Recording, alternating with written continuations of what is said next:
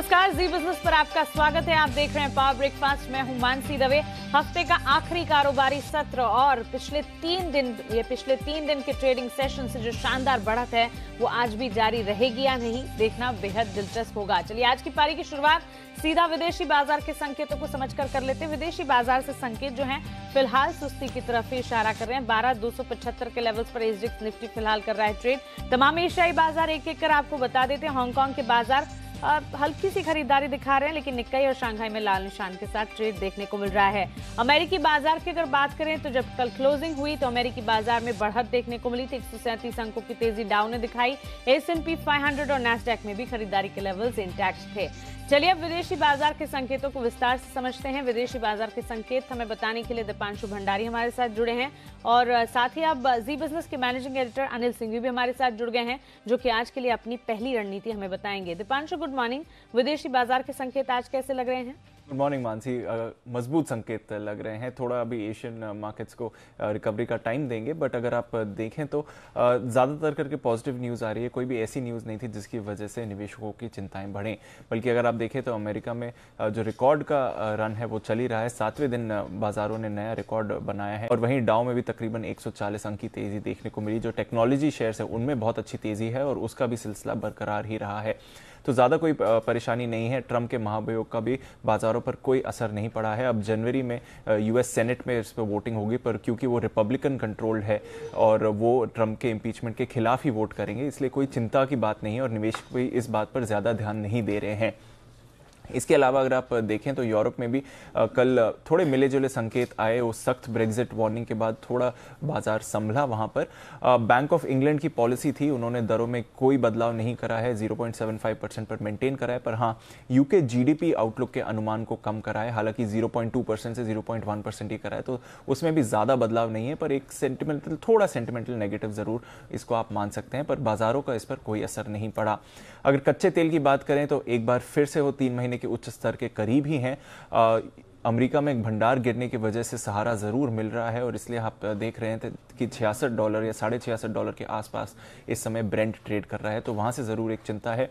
रुपए में भी कल हल्की सी गिरावट ज़रूर देखने को मिली। इकहत्तर रुपए पर डॉलर के ऊपर ही बंद हुआ। तकरीबन छः पैसे की गिरावट थी, पर रुपये भी एक स्टेबल दर में ही थोड़े दिनों से ट्रेड कर रहा है।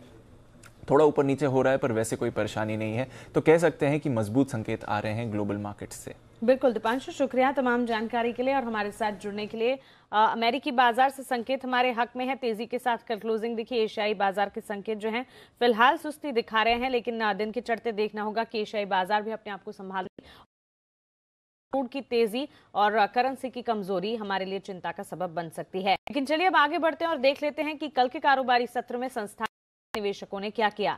FIS कर रहे हैं कैश मार्केट में खरीदारी, करीब 740 करोड़ की वहीं। कैश मार्केट में डीआईएस की तरफ़ से चार सौ नब्बे करोड़ की बिकवाली देखने को मिल रही है और वायदा बाज़ार में FIS की तरफ़ से करीब चार सौ करोड़ की खरीदारी है। तो कह सकते हैं कैश मार्केट और वायदा बाज़ार दोनों में ही एफ़ की तरफ़ से खरीदारी आती हुई दिख रही है। लेकिन अब सीधा रुक करते हैं हमारे स्पेशल सेगमेंट का, जहाँ हम रोज बात करते हैं जी बिज़नेस के मैनेजिंग एडिटर अनिल सिंघवी से।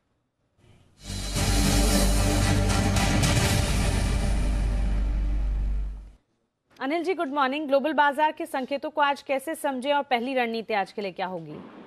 Good morning Mansi. जैसा कि दीपांश बता रहे हैं, संकेत काफ़ी बेहतर है अमेरिका में जो तेज़ी हुई है रिकॉर्ड हाई पर जाकर अमेरिकी बाज़ार बंद हुए हैं, वो काफ़ी बेहतरीन है क्योंकि जितनी तेज़ी हुई है, उतनी उम्मीद हमें कल बाज़ार बंद होने के वक्त नहीं थी। और अच्छी बात यह है कि जो अमेरिकी राष्ट्रपति पर महाभियोग की बात है, उस पर बाज़ार बहुत ज़्यादा तवज्जो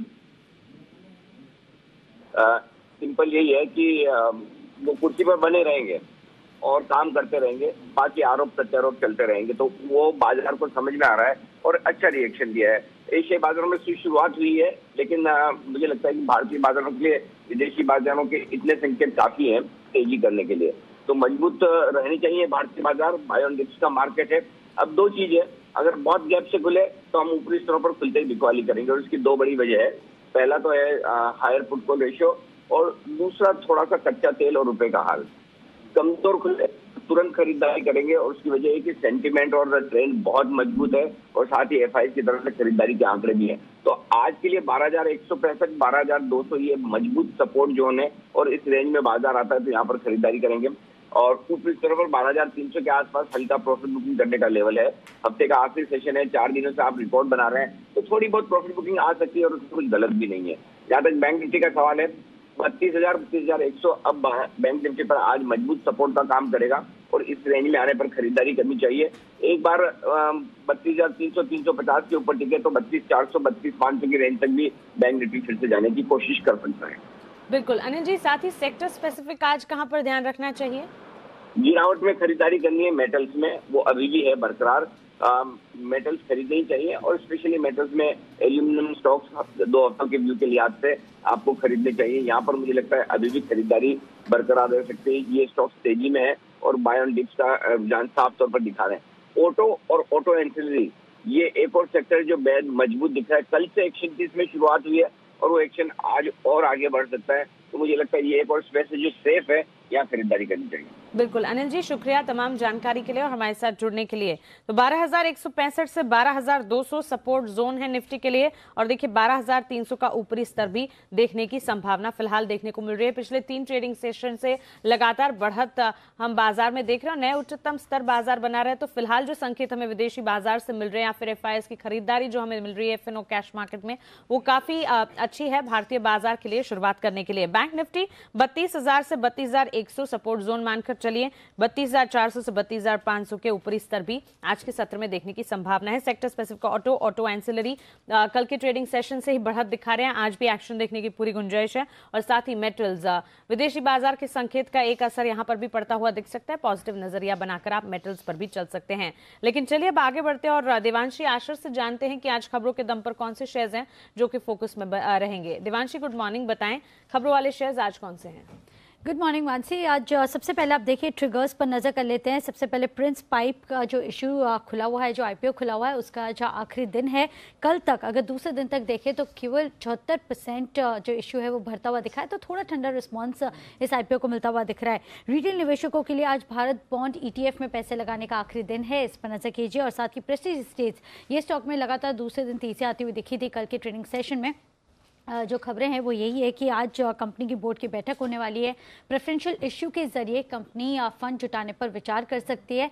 इसके चलते काफ़ी तेज़ी आ चुकी है स्टॉक पर। साथ ही बैंकिंग स्टॉक पर आज नज़र रखिए, क्योंकि 30 दिसंबर से आरबीआई ओएमओ शुरू करेगी। आरबीआई लिक्विडिटी बढ़ाने के लिए बॉन्ड्स खरीदेगा। करीब दस हज़ार करोड़ के बॉन्ड्स खरीदने की योजना इस ओएमओ में आती हुई दिख रही है। साथ ही बजाज फाइनेंस, इस स्टॉक पर आप नज़र कीजिए। कार्वी डेटा मैनेजमेंट ने जो गिरवी रखे शेयर्स थे, कार्वी के वो खरीद लिए हैं। इन बुक कर लिया, अपने नाम कर लिया और करीब 10 परसेंट का हिस्सा जो है वो बजाज फाइनेंस का कारवी में आता हुआ दिख रहा है। और कंपनी को करीब साढ़े तीन सौ करोड़ रुपए का एक्सपोजर है, जिसकी रिकवरी के लिए कंपनी ने ये काम किया है। S Bank of Baroda P सरकारी कंपनी आज फोकस में रहेंगी, जहाँ पे यू टी ने आईपीओ के लिए सेबी में अर्जी दे दी इसके चलते आज फोकस में रहेगा। एनएमडीसी ये स्टॉक पर नज़र रखे, क्योंकि झारखंड में दो कोल ब्लॉक कंपनी को अलॉट होते हुए दिखे एक रोहन कोल ब्लॉक है, जहाँ पे जो प्रोडक्शन कैपेसिटी करीब आठ मिलियन टन प्रति एनम की बनती हुई दिखी है और साथ ही तो किशुद्ध नॉर्थ कोल ब्लॉक भी इनको अलॉट होता हुआ दिखा है। यहाँ पे भी जो कैपेसिटी है करीब सवा दो मिलियन टन प्रति एनम पर बनती हुई दिखी है। मैक्स वेंचर्स एंड इंडस्ट्रीज़ इस पर नज़र कीजिए, जहाँ पे प्रमोटर अनिलजीत सिंह ने अपनी जो हिस्सेदारी है वो बढ़ा दी है। करीब ज़ीरो से अपनी हिस्सेदारी बढ़ाई है। और राइट्स इस पर भी नज़र रखिए, जहाँ पे सत्ताईस दिसंबर को कंपनी की बोर्ड की बैठक होने वाली है। और यहाँ पे भी आप देखिए जो बैठक में डिविडेंड पर विचार होता हुआ दिख सकता है। इसके चलते आज ये स्टॉक भी नज़र में रहेगा। ओके okay, देवांशी शुक्रिया तमाम जानकारी के लिए और हमारे साथ जुड़ने के लिए। चलिए आज के लिए कुछ अहम ट्रेडिंग कॉल्स अब आपके सामने रख देते हैं जहाँ पर इंटरडे पर्सपेक्टिव के लिहाज से खरीदारी आप करके चल सकते हैं। एक्सिस सिक्योरिटी से शुरुआत करेंगे लॉरिस लैब्स में खरीदारी की राय दे रहे हैं। पिछले कई ट्रेडिंग सेशन से इस स्टॉक में एक्शन भी देखने को मिल रहा है और कल ही के सत्र की बात है, करीब चार, साढ़े चार प्रतिशत की तेज़ी एक ही दिन में इस स्टॉक ने दिखाई है। तीन सौ तिरासी, थ्री एटी थ्री के लक्ष्य को ध्यान में रखें। तीन सौ छियासठ, थ्री सिक्सटी सिक्स का यहाँ पर एक स्टॉप लॉस लगाएगा। खरीदारी का मन बनाकर आप चल सकते हैं। इसके अलावा आईएफबी इंडस्ट्रीज़ यहाँ पर भी एक्सिस सिक्योरिटीज का मानना है कि खरीदारी का मन बनाया जा सकता है। 680 पहले लक्ष्य ध्यान में रखिए। 690 दूसरा लक्ष्य। छह सौ इक्यावन का एक स्टॉप लॉस लगाइए। खरीदारी कीजिएगा। चॉइस ब्रोकिंग का मानना है कि श्रीराम ट्रांसपोर्ट फाइनेंस में फ्यूचर्स में आप खरीदारी करके चल सकते हैं। ग्यारह के लक्ष्य को यहाँ पर ध्यान में रखा जाए और यहाँ पर 1107 का एक स्टॉप लॉस आपको लगाना होगा। वहीं हमारे खास शो बाज़ार आज और कल में ट्रेड स्विफ्ट ब्रोकिंग के संदीप जैन ने भी इंट्राडे और पोजिशनल बेसिस पर अपनी कॉल्स दी हैं। आइए जानते हैं कौन सी हैं वो कॉल्स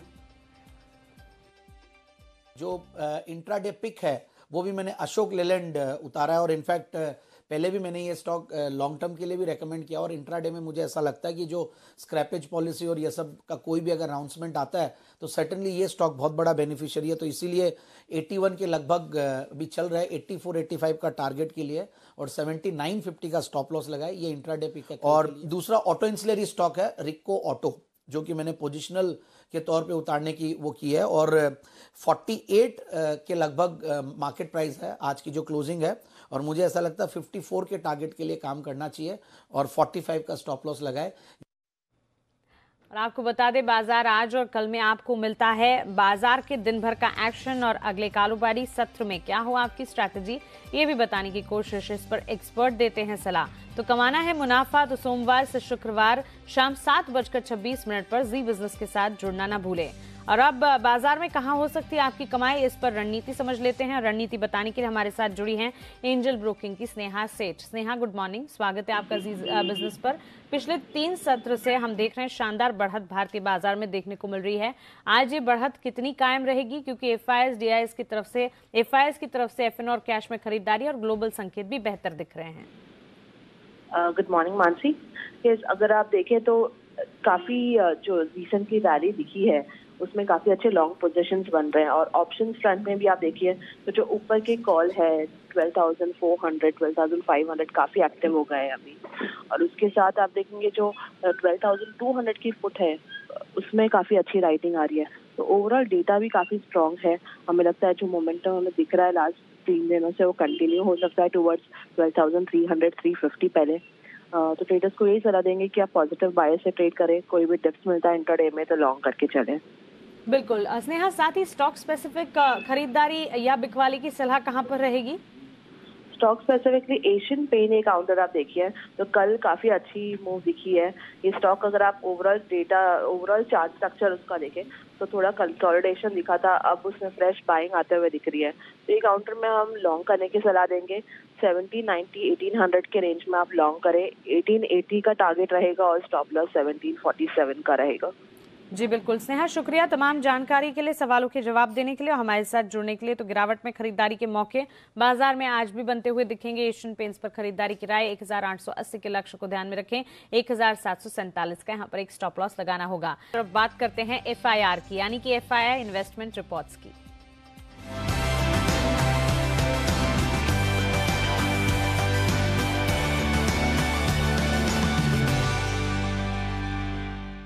हमारे इस खास सेगमेंट एफआईआर में हम आपको बताते हैं कि ब्रोकरेज हाउस की नज़र किन शेयर्स पर है और ये बताने के लिए हमारे साथ जुड़ रही हमारी research analyst Srishti Sharma. Srishti good morning बताएँ। Good morning Mansi. आज शुरुआत करते हैं हम बीएचईएल से, जहाँ पे मॉर्गन स्टैनली की रिपोर्ट आई है। इन्होंने अपना लक्ष्य घटाया है। अंडरवेट रेटिंग अपनी बरकरार रखी है बट लक्ष्य छियालीस से घटा के उन्होंने सैंतीस के दे दिए हैं। उनका मानना है कि कमज़ोर मैक्रो आउटलुक के चलते उन्होंने यहाँ पे लक्ष्य घटाया है और नए ऑर्डर्स मिलने में कंपनी को देरी हो रही है, जिसको लेकर वो पॉजिटिव नहीं है। इसके अलावा ब्रिटानिया पे आज क्वायरी की रिपोर्ट आई है। उन्होंने मौजूदा भाव से काफ़ी कम के टारगेट्स दिए हैं। दो हज़ार छः सौ बासठ के वो लक्ष्य बता रहे हैं। अंडर परफॉर्म रेटिंग दी है उन्होंने। और बिस्किट कैटेगरी में ग्रोथ में धीमेपन के चलते यहाँ पे वो नेगेटिव आउटलुक बना के चल रहे हैं। सन फार्मा पे जो उनकी हलोल इकाई थी, उसको लेकर जो आपत्तियाँ जारी की गई थी, आज उसकी डिटेल्स आई हैं, पर यूबीएस ने खरीदारी की राय अपनी बरकरार रखी है और लक्ष्य 515 के दिए हैं। और बाकी कंपनीज़ के मुकाबले कंपनी काफ़ी विवादों में रहती है, ऐसा उनका मानना है। इसके अलावा यूपीएल पे आज जेपी मॉर्गन की पॉजिटिव रिपोर्ट आई है। उन्होंने ओवरवेट रेटिंग बरकरार रखते हुए लक्ष्य 700 के दिए हैं। मुश्किल माहौल के चलते जो है ग्रोथ में एक सुधार की उम्मीद कर रहे हैं और चौथी तिमाही में कंपनी अपना काफ़ी सारा कर्ज कम करते हुए नज़र आएगी, जिसको लेकर वो पॉजिटिव आउटलुक बना के चल रहे हैं। और आखिरी में और फार्मा पे आज क्रेडिट स्विस की रिपोर्ट है। न्यूट्रल रेटिंग बरकरार रखते हुए उन्होंने लक्ष्य पाँच के दिए हैं। ओके, सृष्टि, शुक्रिया तमाम जानकारी के लिए। हमारे साथ जुड़ने के लिए और चलिए अब सीधा कमोडिटी बाज़ार के लिए आपकी रणनीति आज के लिए क्या होनी चाहिए, ये जान लेते हैं और ये बताने के लिए हमारे साथ एसएमसी ग्लोबल की वंदना भारती जुड़ गई हैं। वंदना गुड मॉर्निंग स्वागत है आपका जी बिज़नेस पर। सबसे पहले तो आज एनर्जी पैक पर ही आपका नज़रिया जानना चाहेंगे और क्रूड के साथ ही नेचुरल गैस पर भी आज अपनी राय दीजिए। जी गुड मॉर्निंग मानसी। जिस तरह की मूवमेंट बन गई है, मुझे लग रहा है कि यहाँ पे थोड़ा सा प्रेशर हो सकता है एनर्जी पैक में। और इम्पीचमेंट में वो प्रूव हुए हैं ट्रंप और जो डेटा है वो भी थोड़ा सा नेगेटिव आ रहा है। तो मुझे लग रहा है कि 20 से 30 40 रुपए तक की जो गिरावट है, वो यहाँ क्रूड में भी हम देख सकते हैं। खासकर मुझे लग रहा है कि नेचुरल गैस स्लोली एक डाउनवर्ड चैनल में ट्रेड कर सकता है ये कमोडिटी और, जो विंटर्स है वो बहुत ज़्यादा हार्श नहीं है वहाँ पे यूएस में, जिसकी वजह से डिमांड थोड़ा सा यहाँ पे कम हो रहा है। तो मेरे ख्याल से स्लोली यहाँ पे ये कमोडिटी 161 के लेवल पे अगर हम सेल करते हैं तो 157 तक जा सकती है। तो सेलिंग यहाँ पे इनिशिएट करना चाहिए 157 के टारगेट के लिए स्टॉप लॉस यहाँ पे लगाना चाहिए 163 का। बिल्कुल। साथ ही वंदना बेस मेटल्स की चाल एक बार आपसे समझेंगे कहाँ पर एक्शन आप देख रही हैं और अगर कोई रणनीति बनानी है तो क्या किया जाए? जी मानसी कल तो बहुत अच्छी मूवमेंट आई थी निकल में और चौबीस रुपए तक का उछाल था। मुझे लग रहा है कि आज थोड़ा सा स्लोअर पेस के साथ लेकिन निकल में आज फिर से थोड़ी सी बाइंग देखने को मिलेगी और इन्वेंट्रीज जो है वो थोड़ी सी कम हुई थी। तो मेरे ख्याल से यहाँ पे एक बार निकल में बाई करके चलना चाहिए और मुझे लग रहा है कि छह से सात रुपए तक की जो तेज़ी है, वो यहाँ पर निकल में आ सकती है। इनफैक्ट मुझे कॉपर में भी लग रहा है कि ऊपर की तरफ़ एक बार हम four four seven four four eight का जो प्राइस लेवल है, वो आते हुए देख सकते हैं। जिंक में मुझे लग रहा है कि प्राइसेस थोड़े से कैप्ड है आप अपसाइड लेकिन फिर भी मुझे लग रहा है कि एक बार 184 से 184.5 तक के लिए यहाँ पे निवेशक बाय करके चल सकते हैं बेस मेटल से। बिल्कुल। वंदना, साथ ही ट्रेड डील से जुड़े डेवलपमेंट्स अब क्या होने हैं? इसे ध्यान में रखते हुए सोने चांदी में अगर बात करें तो एक स्थिर कारोबार देखने को मिला। इस पर आपकी राय क्या होगी? बिल्कुल सही, मानसी। और आपने देखा होगा कि इसकी वजह से सोना अड़तीस हज़ार एक सौ से ऊपर जाने में थोड़ी सी उससे यहाँ पे मुश्किल हो रही है। और खासकर डॉलर इंडेक्स में भी हम लोगों ने एक रिवाइवल आते हुए देखा है। मेरे ख्याल से यहाँ पे गोल्ड में बहुत ज़्यादा मूवमेंट नहीं होगी। गोल्ड में मुझे लग रहा है अड़तीस हज़ार दो सौ तक, दो सौ पच्चीस तक एक हम भाव आते हुए देख सकते हैं। मुझे लग रहा है कि सिल्वर में यहाँ पे एक बाइंग जो है, वो इनिशिएट की जा सकती है। वो भी स्मॉल प्रॉफिट के लिए। चौवालीस हज़ार आठ सौ पे भी अगर हम बाय करते हैं तो मुझे लग रहा है पैंतालीस हज़ार एक सौ का, डेढ़ सौ तक का जो टारगेट है, वो आ सकता है। और इसके लिए स्टॉप लॉस लगाना होगा यहाँ पे चौवालीस हज़ार छह सौ पचास का। इसे छह सौ पचास समझे। Okay okay. वंदना शुक्रिया तमाम जानकारी के लिए सुबह सुबह समय देने के लिए और हमारे साथ जुड़ने के लिए। चलिए, आने वाले दिनों में मोबाइल बिल आपकी जेब पर और भारी पड़ने वाला है। जी हाँ पिछले दिनों ही कंपनियों ने मोबाइल टैरिफ में 25 से 40 प्रतिशत तक की बढ़ोतरी की थी, लेकिन इतने से ही कंपनियों के नुकसान की भरपाई नहीं हो रही है। भारतीय एयरटेल के चेयरमैन ने इशारा किया है कि आने वाले वक्त में मोबाइल से बात करना और महँगा हो सकता है। Indian consumers have been enjoying very, very low rates. They will continue to enjoy low rates. Mm, but, I think we need to have a, a, a, balance between requirement of investments and the consumer on the other side. So my view is 200 rupees ARPU, eventually going to 300 rupees ARPU. At the lower end, 100 rupees for a customer uh, over a month of consuming uh, rich data, voice, and other services. And on the upper end, 450, 500 rupees. Therefore, blended eventual landing point of 300 rupees a month, which will still be, as you know, $4 a month, by far the lowest anywhere in the world, and yet consuming two or three times more data than anywhere else in the world. और इसी के साथ power breakfast में फिलहाल इतना ही मुझे दीजिए इजाजत